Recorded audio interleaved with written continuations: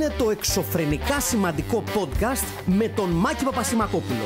Ένα εξωφρενικά σημαντικό, σημαντικά εξωφρενικό podcast από την καρδιά του Αγίου Ελευθερίου για όλους εσάς και όλες εσές. Γεια σας φίλες και φίλοι, εύχομαι να είστε καλά. Ε, έχουν γίνει πολλά και διάφορα αυτές τις μέρες και πραγματικά δεν ήξερα πού να ξεκινήσω. Γιατί ε, έχουν γίνει πολλά στο χώρο του ποδοσφαίρου, καθώς ο παδός της Manchester United, είχαμε τον τελικό του, του League Cup, ε, που μονοπόλησε μπορώ να πω το ενδιαφέρον μου, όμως, όμως επειδή βρισκόμαστε στην Ελλάδα, ε, επειδή πάμε για εκλογές και επειδή όπως και να το κάνουμε, ναι ξέρω ότι πολλοί από εσάς και πολλοί από εσές και πολλοί από εσάς και έξω θα λέτε ε, οκ, okay, δεν με ενδιαφέρει ας πούμε τι θα γίνει σε εκλογές, όλοι οι ίδιοι είναι και και και και και και, και. Όμως, ε, έχει ένα ενδιαφέρον ακόμα και να μην παρακολουθείς ε, την πολιτική στην Ελλάδα, διότι τι γίνεται; Η ιστορία που μας δίνει η ελληνική πολιτική αυτές τις μέρες, αυτό το Σαββατοκύριακο πιο συγκεκριμένα, με την ε, οριστική λήξη, ε, ρήξη, με ανάμεσα στον ε, γενικά τσαμπουκαλεμένο και γενικά νταΐ Παύλο Πολάκη με τον Αλέξη Τσίπρα και τον ΣΥΡΙΖΑ γενικότερα, είναι νομίζω ένα από τα γεγονότα τα οποία θα συζητηθούν πολύ και προς τις εκλογές και κατά τη διάρκεια των εκλογών και μετά τις εκλογές. Κυρίως γιατί επί της ουσίας σε περίπτωση που χαθούν οι εκλογές για τον ΣΥΡΙΖΑ η πιθανότητα είναι ότι πάρα πολλοί εντός και εκτός ΣΥΡΙΖΑ θα δείξουν την αποπομπή του Παύλου Πολάκη μπαίνοντας στην τελική ευθεία για τις ε, εκλογές ως ένα από τα ε, κεντρικά γεγονότα τα οποία στιγμάτισαν την πιθανή ήττα αυτή. Απ' την άλλη, εάν ο ΣΥΡΙΖΑ καταφέρει να επικρατήσει τη Νέα Δημοκρατία εκλογές, θα λένε ότι ήταν μια αποφασιστική κίνηση του Αλέξη Τσίπρα. Όπως και να έχει, έχω την αίσθηση ότι εκτός αν συμβούν άλλες φοβερές αποπομπές που πραγματικά, εάν κάποιος έχει παρακολουθήσει έστω και λίγο την πολιτική πραγματικότητα του τόπου, θα καταλάβει ότι οι, οι, οι φιγούρες τύπου Παύλου Πολάκη ε, είναι αυτές που ακούγονται πάρα πολύ. Είναι με την ίδια λογική που ακούγεται πάρα πολύ η φωνή του Άδωνο Γεωργιάδης στη Νέα Δημοκρατία. Είναι με την ίδια λογική ε, που ακούγεται πάρα πολύ ο κ. Κυρανάκης, για παράδειγμα. Είναι γενικά. Ε, η, η, η, η κυρία Κωνσταντοπούλου στο παρελθόν έχει ακουστεί πάρα πολύ. Γενικότερα στην, στην ελληνική πολιτική ζωή, αυτούς και αυτές που θυμόμαστε είναι αυτούς και αυτές που φωνάζουν, που τσαμπουκαλεύονται, που πουλάνε τα ελίκη, που τα λένε στα ίσα, όχι κατ' εμέ, έτσι που τους αντιλαμβάνεται ο λαός.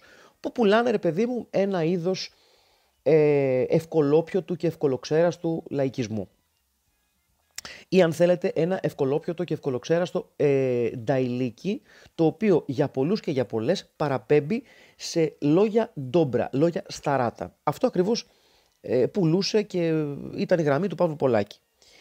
Για πολλούς και για πολλές στην Ελλάδα αυτό πρέπει να είναι το προφίλ του σύγχρονου πολιτικού και της σύγχρονης πολιτικού.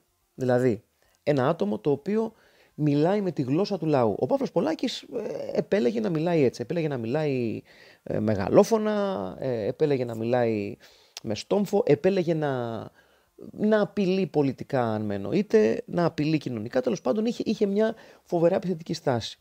Η απόφαση του Αλέξη Τσίπρα να διώξει τον Παύλο Πολάκη από τον ΣΥΡΙΖΑ ε, επί της ουσίας χωρίς να έχει άλλη επιλογή καθώς ο, ο Παύλος Πολάκης σε περίπτωση που δεν το παρακολουθήσατε αποφάσισε να ακολουθήσει μια γραμμή και μια σειρά ε, δηλώσεων ε, διαφορετική από την γραμμή που ακολούθησε ο, ε, ο ΣΥΡΙΖΑ. Είναι χαρακτηριστικό γεγονός ότι στην ανακοίνωση αυτό ακριβώς τονίζεται, τονίζει το, το, η παράταξη ότι ο ΣΥΡΙΖΑ πάντα λειτουργούσε συλλογικά και έτσι διαμόρφωνε και διαμορφώνει την πολιτική του.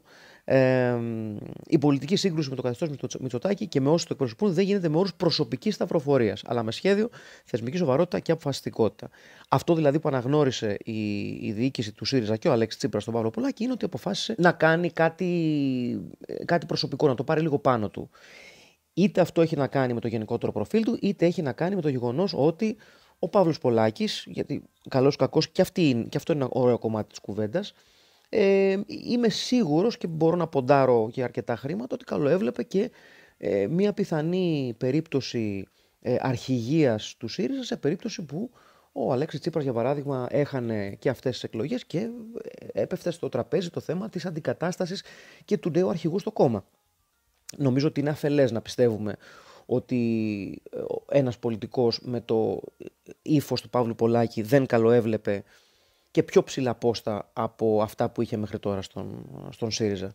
Ε, με την ίδια λογική που και μια Κωνσταντοπούλου και ένας ε, Γεωργιάδης. Γενικότερα, οι φωνακλάδες και οι φωνακλούδες και οι τσαμπουκαλίδες και οι τσαμπουκαλούδες δεν το κάνουν επειδή έχουν κάμια κάψα για το καλό του λαού. Κατά κύριο λόγο το κάνουν για να κερδίσουν την εύνοια του λαού και με την εύνοια του λαού να προχωρήσουν και στη διεκδίκηση ενός παραπάνω πόστου. Αυτό προ ε, προς Θεού δεν, δεν λέω ότι είναι απαραίτητα κακό.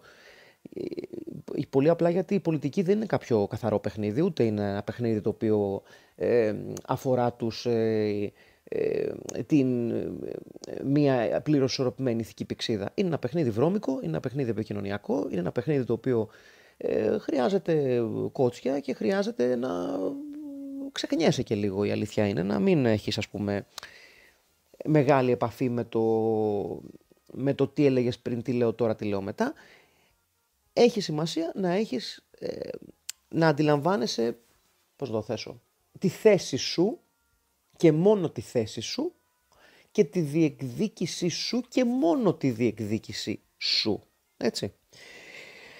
Ο Παύλος Πολάκης λοιπόν, με, οθώντας τον Αλέξη Τσίπρα ε, στο να τον διαγράψει, αν και δεν νομίζω ότι ο Παύλος Πολάκης πίστευε ότι θα οδηγηθεί εκεί η κατάσταση, νομίζω ότι και ο ίδιος έχει σοκαριστεί από αυτό το πράγμα, θα ήταν ε, περίεργο να μην, οπωσδήποτε βάζει τον εαυτό του στη θέση του πρωταγωνιστή αυτής της εκλογικής αναμέτρησης. Γιατί η αποπομπή του, όπως ε, είπα και πριν, αποτελεί την σημαντικότερη είδηση της προεκλογικής περίοδου. Τουλάχιστον μέχρι την επόμενη, αν και ξαναλέω, μου φαίνεται πάρα πολύ δύσκολο να υπάρξει είδηση ε, σε κάποια από τα κόμματα που θα διεκδικήσουν την εξουσία, η οποία θα ξεπεράσει σε δυναμική ε, και σε θέμα συζήτησης την αποπομπή του Παύλου Πολάκη. Μένει να δούμε τι τριγμούς θα δημιουργήσει ε, και εντός ΣΥΡΙΖΑ αυτή η ιστορία, γιατί μην ξεχνάμε ότι ο Παύλος Πολάκης ε, είχε αρκετούς υποστηρικτές μες στο ΣΥΡΙΖΑ και έχει και αρκετούς υποστηρικτές στο κοινό ε, του κόμματος της αξιωματικής αντιπολίτευσης ε, και μένει να δούμε πρώτον τι, θα, τι τριγμούς θα δημιουργήσει το ΣΥΡΙΖΑ, πώς θα επηρεάσει την πορεία του ΣΥΡΙΖΑ στις εκλογές και βέβαια, και βέβαια το πιο σημαντικό από όλα κατ' εμέ είναι η επόμενη μέρα του Παύλου Πολάκη. Αν δηλαδή θα κοιτάξει να πάει σε κάποιο κόμμα της ε, ευρύτερης αριστεράς ή ενδεχομένως αν ε, αποφύγει λίγο τα φώτα της δημοσιότητας, πράγμα πάρα πολύ δύσκολο είναι ο Παύλος Πολάκης νομίζω, και τον δούμε γιατί όχι να στείνει και τη δική του κομματική παράταξη για να επιτύχει αυτό που ούτως ή άλλως καλό έβλεπε, δηλαδή μία θέση αρχηγίας. Ε, όπως και να έχει, είτε σας αρέσει η ελληνική πολιτική είτε όχι, την παρακολουθείτε είτε όχι, η είδηση της, ε, του ξυλώματος του Παύλου Πολάκη από τον ΣΥΡΙΖΑ σίγουρα είναι ένα θέμα το οποίο έχει συζητηθεί σε πάρα πολλούς κύκλους, σε πάρα πολλές παρέες και σε πάρα πολλά μπαρ, καφέ, εστιατόρια και τραπέζα αυτές τις μέρες. Λέγοντας αυτές τις μέρες να πούμε ότι είχαμε και τη... Βιώσαμε και την Καθαρά Δευτέρα, αυτή την υπέροχη ιστορία, όπου αποφασίζουμε να φάμε λίγο όχι κρεατικά, γιατί Έχουμε φορτώσει από την Τσικνοπέμπτη και γενικότερα δεν είμαστε και λαός που τρώει κρέας. Οπότε να μια ευκαιρία να μην φάμε κρέας για μια ακόμη μέρα, γιατί είμαστε και vegetarian λαός και vegan λαός εδώ που τα λέμε. Ε, να πω σε αυτό το σημείο ότι εγώ προσωπικά ουδέποτε έχω καταφέρει να πετάξω αετό. Έχω κάνει ελάχιστες απόπειρες στη ζωή μου. Είχα πετάξει στο παρελθόν έναν ε, αχαρταετό με το σήμα της ΑΕΚ απάνω και τον έριξα γιατί λύσα να το πετάξω εγώ και μετά είχα πετάξει και έναν άλλο που είχε σχήμα πουλιού, είχε ε, γεράκι τύπου αϊτόξου της κατά ήταν και αυτό τον, ε, τον έριξα. Θυμάμαι μόνο να τους απογειώνει τους χαρταετού ο πατέρας μου, ο οποίος το έκανε να φαίνεται όλο πάρα πολύ εύκολο και μετά να μου δίνει ε, τον αετό να τον πετάξω εγώ και εγώ με συνοπτικές διαδικασίες να τον ρίχνω ε, σε θάμνους, σε πέτρες, στην άσφαλτο, σε καλώδια της ΔΕΗ. Δεν ήμουνα πάρα πολύ καλός, δεν, δεν, δεν ήμουνα πολύ καλός χαρταετιστής και ε, γι' αυτό δεν μου φταίει κανένας. Δεν μου φταίει για παράδειγμα ο πατήρ μου, φταίει, φταίει εγώ που είμαι ανίκανος και άχρηστος και μαλάκας. Ε, και θα ήθελα πάρα πολύ να, ε, να ζητήσω συγνώμη από τον πατέρα μου που δεν κατάφερα ποτέ να γίνω ο, χαρταετιστής που ενδεχομένως αυτός ε, περίμενε Ε, Father, I tried my best. I'm very sorry. Ε, hopefully you will forgive me one day. Δεν ξέρω γιατί μιλάω αγγλικά στον πατέρα μου. Ούτε τα podcast ακούει, ούτε πολύ καλά αγγλικά εδώ που τα λέμε μιλάει. Μάλιστα, ε, ένα από τα χαρακτηριστικά θέματα του πατέρα μου όταν ε, μιλάμε για τα podcast, ή μάλλον όταν δεν μιλάμε για τα podcast και δεν, δεν το πολύ πιάνει σαν ιστορία, είναι ότι κάθε φορά που πηγαίνω ε, στο σπίτι των γονιών μου και αναφέρεται η λέξη podcast, είτε επειδή το συζητάω με τη μητέρα μου, είτε επειδή το ακούει σε ειδήσεις, κάποιο δελτίο, ξέρω εγώ, podcast, κάπου ξέρω εγώ, ακούει κάτι σε μια διαφήμιση. Με κοιτάει καλά-καλά, ζυγίζει τα λόγια του και μου λέει ε, ρε εσύ Τζέραρντ ή Μάκη ανάλογα από το τι, τι όρεξη έχει. Τι είναι αυτά τα podcast τελικά; Και με κοιτάει με μια απορία και προσπαθώ με φιλότιμες προσπάθειες ε, να του εξηγήσω τι ακριβώς είναι τα podcast.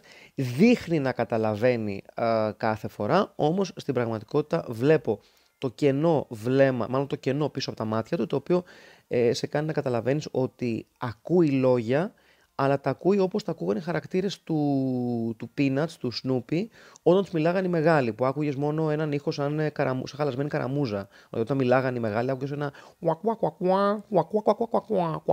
Α, σημειωτέων, αν αυτό δεν σας λέει κάτι, να σας πω ότι ήταν από τα πιο έξυπνα στοιχεία ε, της μεταφοράς του, του Peanuts του Charles Schulz στα, σε καρτουνίστικη μορφή. Ε, νομίζω ότι ήταν επιλογή του Bill Melendez, δεν είμαι σίγουρος. Αλλά επειδή δεν έβλεπες ποτέ μεγάλους, τους έβλεπες τους έβλεπες μονίμως εκτός πλάνου. Δεν έβλεπες ποτέ, ας πούμε, κάποιον μεγάλο να συμμετάσχει στα επεισόδια, ούτε με τον λόγο του, ούτε με την παρουσία του. Και ο μόνος τρόπος που άκουγε στους μεγάλους, δηλαδή όταν τα παιδιά βρισκόταν στο σχολείο για παράδειγμα, ήταν ε, η χρήση μίας ενός πνευστού το οποίο ε, αντικαθιστούσε τον λόγο των μεγάλων. Δηλαδή, ο, ο θόρυβος που άκουγες ήταν ένα αυτό σαν ομιλία, αλλά ε, ήταν συμβολικό στο ότι είναι ένας διαφορετικός κόσμος, ο κόσμος των μικρών παιδιών και ναι μεν αντιλαμβάνονται την γλώσσα των μεγάλων, αλλά δεν την αποδέχονται πλήρως, γι' αυτό και αυτός ο περίεργος ήχος. Τέλος πάντων, ε, sorry, I digress. Αλλά ε, ναι, ο πατέρας μου μάλλον έτσι με ακούει όταν του λέω για τα podcast. Ακούει ένα Και στο τέλος καταλήγει και μου κάνει Α, οκ, ναι, alright. Το αφήνει και περίπου χοντρικά, χοντρικά ξέρω εγώ, δύο εβδομάδες μετά θα ξαναπάω από το σπίτι Πάω κάθε εβδομάδα, αλλά δεν, δεν έχει όρεξη να μιλάει για podcast κάθε εβδομάδα. Δεν τον γκέει τόσο πολύ. Ε, και καταλήγει μετά από κανένα διβδόματο, κανένα τριβδόματο και μου λέει: Ρε Σιμάκη, Τζέραρντ, ε, αυτά τα podcast τελικά τι είναι; Και εδώ του πάλι να προσπαθώ να το εξηγώ. Αυτή τη φορά με ακόμα πιο απλούς τρόπους. Έχω φτάσει σε ένα σημείο που, που, που είμαι στο τσάκ την επόμενη φορά να, να φέρω ένα δικό μου πίνακα για μαρκαδόρους, ρε παιδί μου, να το ζωγραφίζω. This is ε, radio. Πάλι δεν ξέρω γιατί μιλάω στα αγγλικά. Ε, με συγχωρείτε, νίσταξα, νίσταξα, νίσταξα χαρμούριστηκα, ναι. Γιατί γράφω αυτή την, ε, αυτές τις ατάκες 12 ε, παρά 20 τη νύχτα της Δευτέρας. Οπότε bear with me. Ε, δηλαδή με το που θα τελειώσει το podcast θα το στείλω και θα πέσω να κάνω νανάκια.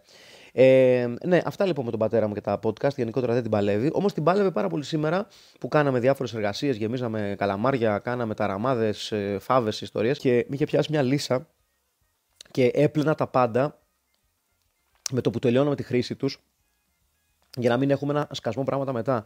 Και από κάποιο σημείο και πέρα είχα τέτοια λύση να καθαρίσω τα πάντα που έπαιρνα τα πράγματα από τα χέρια τους προτού τελειώσουν. Δεν ξέρω αν σας έχει τύχει ποτέ να έχετε συμμετάσχει δηλαδή στην προετοιμασία κάποιου οικογενειακού δείπνου και ο ρόλος σας να είναι ο ρόλος της λάτζας και της καθαριότητας, να μην έχετε πολλά, πολλά παρεδώσει με την προετοιμασία του φαγητού ή την Παρασκευή τους, ξέρω το κόψιμο των λαχανικών ή κάτι τέτοιο. Να, να είστε καθαρά στη, στη θέση του λατζιέρι της λατζιέρι σα, παιδί μου. Και ξεκινάτε χαλαρά, δηλαδή, α, δώσε μου, ξέρω εγώ, ναι, το καθαρίζω το κατσαρολάκι, το πιάτο, το τηγάνι, το σκεύος, το αυτό, το ένα άλλο. Αλλά τελικά καταλήγετε να λυσάτε και να πατάτε γκάζι με τη λάτζα, διότι από τη λύσα σας να καθαρίσατε όλα για, για, για, για να γιατί από κάποιο σημείο και πέρα, δεν ξέρω και αυτό αν το έχετε βιώσει ποτέ, όταν μπαίνει σε ρόλους καθαριότητας, είτε αυτό είναι για πάτωμα, για το σπίτι, για τη σκούπα, για τη λάτζα, για οτιδήποτε, από κάποιο σημείο και πέρα ο ρόλος σου σε απορροφά πάρα πολύ άσχημα και σε κάνει να λυσάς λίγο. Σε κάνει δηλαδή να θες να υπερκαθαρίζεις, δηλαδή να μην μένεις στο απλό καθάρισμα, να πηγαίνεις στο, στο, στο υπερκαθάρισμα. Δηλαδή, πριν τελειώσει ο άλλος κάποια εργασία που μπορεί, μπορεί να προκαλέσει βρώμα, σκόνη, οτιδήποτε, εσύ είσαι ήδη on top of it. Εγώ έτσι ένιωσα την καθαρά Δευτέρα.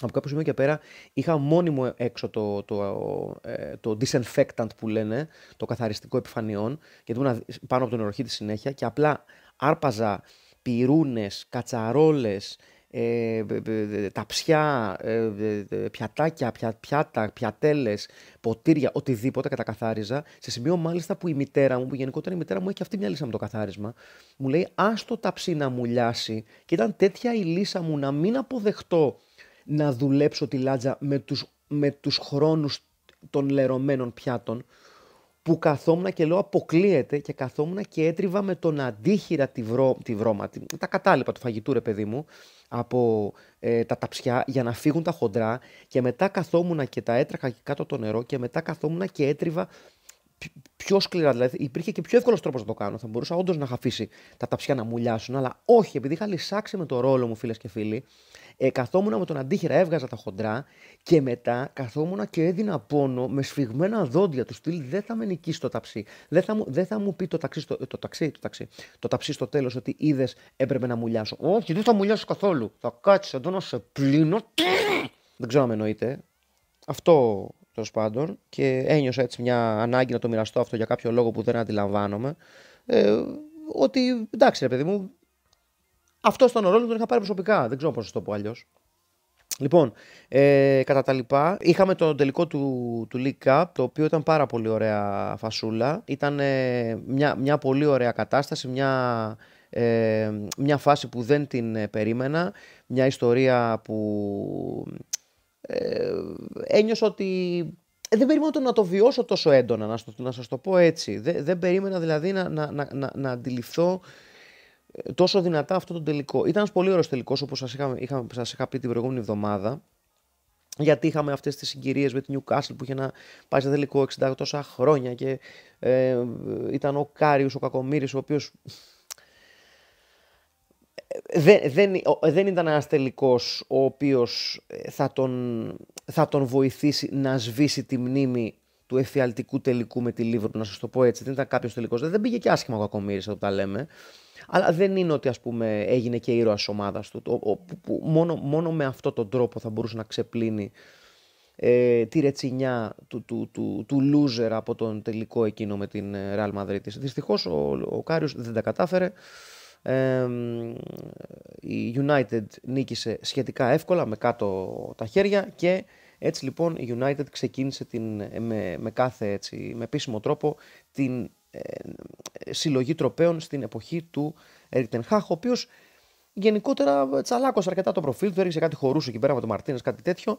Ε, αλλά εμένα μου έμεινε περισσότερο από όλα ε, η εικόνα. Ε, μάλλον έγινε κάποιο ρεπορτάζ έξω το γήπεδο λίγο πριν ξεκινήσει το, το παιχνίδι ασφαλώς και βρήκαν ένα παδό της Newcastle αρκετά προχωρημένης ηλικίας, δηλαδή πρέπει να ήταν, ξέρω εγώ, mid-60s, late 60s, κάπου εκεί τέλος πάντων. Και τον ρωτήσανε πώς αισθάνεται, έβαλε τα κλάματα που ήταν πάρα πολύ συγκινητικό. Ε, είπε ότι υποστηρίζω την, ε, την Newcastle 60 χρόνια. 60 τόσα χρόνια, δεν θυμάμαι, λέει, 60 something years νομίζω είπε. Ε, και είμαι πολύ συγκινημένος και του είπε, το ρωτάει ο δημοσιογράφος ε, ε, πιστεύετε ότι ο Newcastle μπορεί να κερδίσει και λέει δεν με ενδιαφέρει ε, με ενδιαφέρει μόνο ότι φτάσαμε εδώ. Το οποίο ήταν πάρα πολύ συγκινητικό και αυτό φάνηκε και από την αντίδραση των οπαδών της Newcastle στο γήπεδο. Ήταν πολύ πιο δυνατός ο, ο ήχος των οπαδών της Newcastle. Ήταν πολύ πιο αγχωμένοι, πολύ πιο φωνακλάδες κατά τη διάρκεια του τελικού. Κάθε πάσα που πήγαινε την μπάλα προς τα μπροστά ξύπναγε το κοινό στι κερκίδες. Ε, δεν ακολούθησαν για κανένα λόγο σε τόση ένταση ο οπαδοί της United. Ε, ίσως επειδή η United έχει πιο εντός εκτός εισαγωγικών εύκολους οπαδούς, δηλαδή οπαδούς που έχουν ακολουθήσει για το brand και όχι τόσο πολύ για την ιστορία της ομάδας. Ε, ίσως γιατί η United έχει πολύ λιγότερο καιρό να πάρει ένα, ένα, ένα τρόπεο. Πάντως ήταν συγκινητική η παρουσία των ε, οπαδών ε, της Newcastle. Ήταν ένας τελικός με πολύ έτσι, έντονο αγγλικό ποδοσφαιρικό χρώμα ε, παρά το γεγονός ότι γενικότερα συνδέουμε αυτό το πολύ αγγλικό στοιχείο του αγγλικού ποδοσφαίρου με τον τελικό του FA Cup, δηλαδή του, του πρώτου μεγάλου κυπέλου της Αγγλίας, το League Cup ήρθε αρκετά αργότερα, το παλιό Milk Cup, πλέον, Milk Cup, πλέον Carabao Cup. Αυτό όμως δεν κάνει μικρότερη την κατάκτηση του τροπέου. Η United ήθελε ένα τρόπαιο για να αφήσει πίσω της αυτή τη μαύρη περίοδο με τις αλλαγές προπονητών, ε, τις πολλές αλλαγές προπονητών, τις πολλές αλλαγές παικτών κτλ. κτλ και να πιστέψει με αποδείξεις πλέον, με χειροπιαστές αποδείξεις ότι αυτή η επιλογή προπονητή είναι μια επιλογή προπονητή που φαίνεται ότι θα της βγει ή τουλάχιστον έτσι φαίνεται για την ώρα. Ε, ένας προπονητής ο οποίος έχει ένα ξεκάθαρο πλάνο, ε, δεν σηκώνει μίγα στο σπαθί του, έχει σουλουπώσει μια ομάδα η οποία έδειχνε ξέφραγο αμπέλι εδώ και πάρα πολλά χρόνια ε, και με το λιγότερο εντυπωσιακό κατσαρόλι από τα τρία που διεκδικούνται στην Αγγλία στο top επίπεδο της αγγλικό ποδοσφαίρο κάθε χρόνο βάζει μπρος για να ε, φαντάζομαι, όπως και, ο ίδιος, όπως και ο ίδιος δήλωσε, να φέρει και άλλα τρόπαια στο, στο Old Trafford. Αλλά ξαναλέω, νομίζω ότι η, η ομορφιά αυτού του τελικού δεν ήταν ποδοσφαιρική, ήταν καθαρά η αγάπη και το πάθος των οπαδών της Newcastle που χάρηκαν τόσο πολύ που η ομάδα τους έφτασε σε ένα τελικό μετά από τόσα χρόνια που το έζησαν με την καρδιά τους ακόμα και όταν πλέον το παιχνίδι έδειχνε ότι είχε χαθεί. Ακόμα και όταν ο, καιρός, ο χρόνος είχε περάσει, ε, η ομάδα τους δεν μπορούσε να, να, μπορούσε να διασπάσει την άμυνα της United και εν τέλει ε, έμεινε με το τίτλο του runner-up, έδινε, έμεινε δηλαδή με, του, με τα μετάλλια του, του δεύτερου, τα οποία δεν έχουν και πολύ μεγάλη σημασία σε ένα τελικό. Τώρα το να βγεις δεύτερος στους δύο δεν σε βοηθάει και πάρα πολύ. Όμως ήταν μια πάρα πολύ όμορφη ιστορία και μια πάρα πολύ όμορφη πορεία. Σίγουρα δεν είναι και ότι καλύτερο να το βλέπεις έτσι με, με, με, με τα γυαλιά του ονειροπόλου όταν τα, η προσπάθεια αυτή χρηματοδοτήθηκε από ένα καθεστώς το οποίο δεν είναι και το πιο ονειρικό, οκ. Αλλά για τους οπαδούς και μόνο και για τους ειδικότερα τους μεγαλύτερους ηλικία που είδαν μετά από χρόνια την ομάδα τους να πηγαίνει σε ένα τελικό, ε, να διεκδικεί ένα τρόπαιο, ήταν μια πολύ ωραία στιγμή. Ε, δέχομαι όλες τις αντιρρήσεις που μπορεί να έχουν άνθρωποι για το τωρινό καθεστώς της Newcastle, με το σαουδαραβικό fund τέλος πάντων που οδηγεί αυτή την αναγέννηση της Newcastle, αλλά έστω και με την απομόνωση κάποιων στοιχείων, εμένα μου άρεσε πάρα πολύ. Οι εικόνες που είδα δηλαδή από τους ε, οπαδούς αυτής της ομάδας μου άρεσαν πάρα πολύ.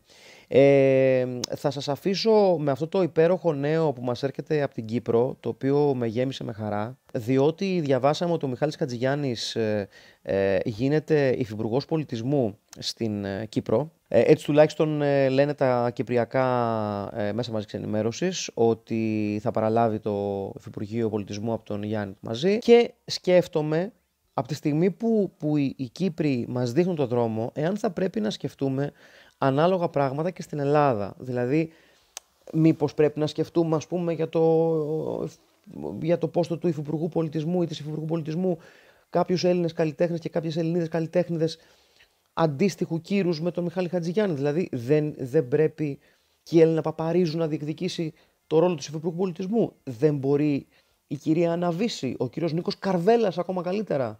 Δεν μπορεί για παράδειγμα... Ε, ε, δεν, δεν μπορούν να, να πάρουν το Υφυπουργείο Πολιτισμού η ΟΠΑ να επανενωθούν για, όχι για να κάνουν πάλι περιοδία, ή για να, να τραγουδήσουν, για να πούνε ξέρω εγώ το κορόιδο εντάξει, αλλά για να αναλάβουν υπουργείο, υφυπουργείο. Δεν μπορούν. Δεν μπορούν οι φίλοι για πάντα να πάρουν το Υπουργείο Πολιτισμού, να έρθει και ο Λορέτζο Καριέρα πάλι να γίνουν τρίο, να, να επανενωθούν και αυτοί για να πάρουν το Υφυπουργείο. Δεν μπορούν. Καλά, άμα δεν θέλετε να το πάμε σε τριάδες και διάδες, ε, δεν μπορεί για παράδειγμα. Ποιος μπορεί άλλος να το πάρει; Ε, ε, ο Γιάννης Πάριος ε, μπορεί να πάρει το Υφυπουργείο Πολιτισμού για παράδειγμα. Ε, ποιος άλλος θα μπορούσε να πάρει που θα μ' άρεσε να, να πάρει τέτοιο πόστο; α, ο Βέρτης. Γιατί όχι ο Βέρτης, δηλαδή. Ο Σάκης Ρουβάς. Γιατί όχι ο Σάκης Ρουβάς; Ο Σάκης Ρουβάς έχει δώσει τα διαπιστευτηριά του, μπορεί να μιλάει δημόσια, έχει παρουσιάσει και εκπομπές. Ο Γιώργος Λιανός, με το που τελειώσει το Survivor, να πάρει Υπουργείο Πολιτισμού. Γιατί όχι; Εγώ θα το ήθελα πάρα πολύ. Το ζητώ, θα το ήθελα δηλαδή. Ε, το έχω ανάγκη να το δω αυτό. Θέλω από τη στιγμή που, που οι Κύπροι ανοίγουν τις πόρτες για κάτι καλύτερο, θέλω κι εγώ να σκεφτούμε αντίστοιχα πράγματα. Αντίστοιχε, αντίστοιχες σπουδαίες φυσιογνωμίες. Να το σκεφτούμε αυτό. Και να μην σκεφτούμε, για παράδειγμα, να πάμε να δούμε το Cocaine Bear, το οποίο είναι από τις χειρότερες ταινίες που έχω δει στη ζωή μου. Για να τελειώσω με αυτό και να, και να τελειώνω. Με αυτές τις μπουρδοτενίες που στηρίζονται σε μία ιδέα η οποία εξαντλείται στα 10 λεπτά. Δεν ξέρω πώς μου κόλλησε αυτό ως επίλογο. Αλλά ναι, εάν, εάν σας πείσει κάποιος ή κάποια να πάει να δείτε το Cocaine Bear, να πληρώσετε στήρα να πάτε το δείτε στο σινεμά, μην το δείτε το Cocaine Bear, γιατί είναι μια μπουρδάρα και μισή.